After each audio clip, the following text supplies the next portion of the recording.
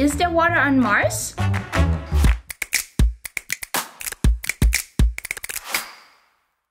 The short answer is yes. Now we have to think about how do we actually define water? It's not quite like on Earth, but it's definitely there.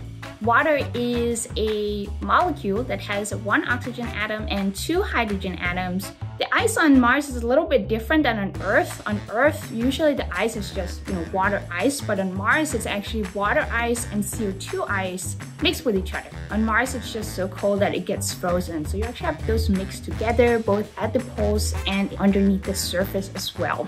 We even have water in the atmosphere as a water vapor. It's a very small amount, but it's there. We also have water inside of rocks. So you can think about rocks as sort of a stack of layers and sometimes there's water trapped in between those layers. And we've actually measured this with a lot of the different missions from NASA, and that's actually what I study. And the last state, a potential state of water is, do we have liquid water on Mars?